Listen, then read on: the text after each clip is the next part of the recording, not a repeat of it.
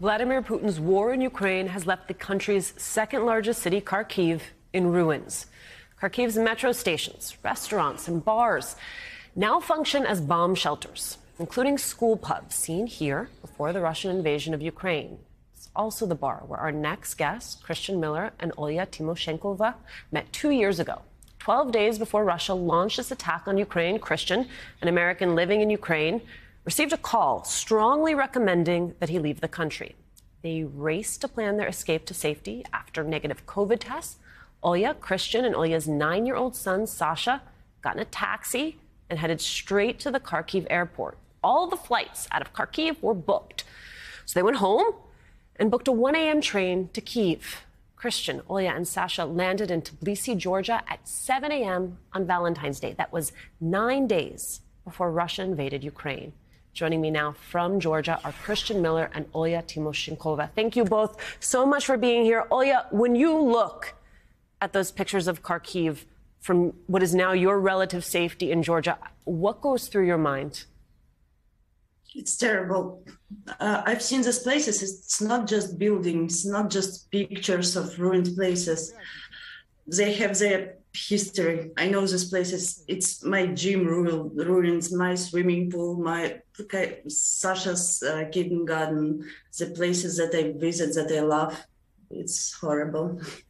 All of the places in which we build our life. Olya, have you heard from your friends and family in Ukraine? Yeah, I'm trying to get in touch with them and uh, to check them out every day. And recently, like I'm asking them stupid question like, "How are you?" And they're almost all of them answering just with one word, uh, "alive," and that's good enough. Yeah, all questions. All questions feel somehow insufficient in this moment. Christian, I, I want to know what was going through your mind when you received that call telling you to flee the country. Um, I was pretty nervous because I tested positive for COVID the week before. Um, so, you know, I was like, am I going to have to rent a car to get out of here? It was Friday night when we got that call.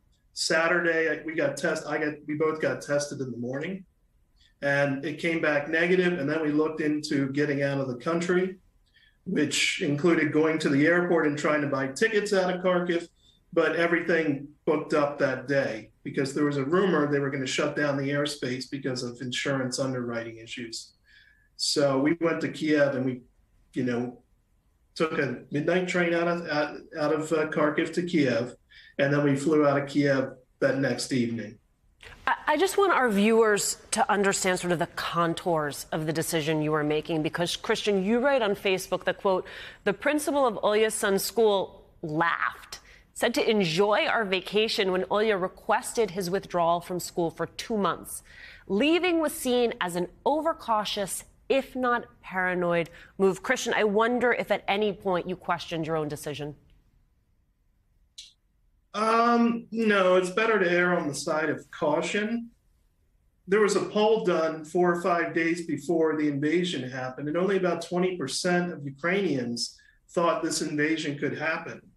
Um, so it was a real surprise.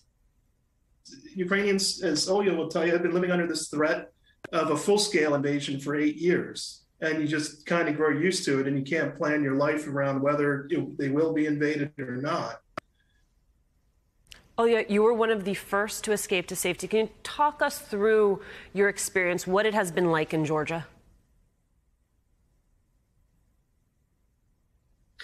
Georgian people are very, very guestly. They're very supportive. Uh, taxi drivers are not charging me, uh, saying like we are with Ukrainians, no need in money. Our landlord lady Tamriko supports us very much with everything she can, with moral support. She provides us some food, asking how are we, what could she do. Everyone goes uh, to these demonstrations. Demonstrations, yeah, oh, every yeah. day. and believes it like where with Ukrainian flags covered. Oh, yeah, I am a mom. You are a mom. And one of the things that I have wondered as I've watched other moms go through this is how do you explain this to your kid? How do you tell them what is happening and what their future is going to look like? you know, for now, he's not realizing the damage and what's going on really. And um, I'm happy that he, he doesn't for now. Uh, my other because question. uh, to you- other kids, no, finish your thought. Sure. Uh, because I'm talking to my friends that uh, left in Kharkiv in Ukraine or trying to, to get out from that situation who has kids. And kids are like damaged a lot. Some of them are not talking at all. Some of them uh, talking in sleep, saying like horrified. And I'm happy that Sasha haven't seen this. Oh, Olga, is your expectation to go back to Ukraine?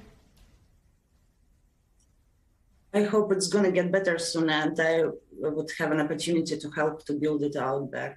I love my Ukraine. I love my city. I love people over there. I am proud of them, proud to be Ukrainian.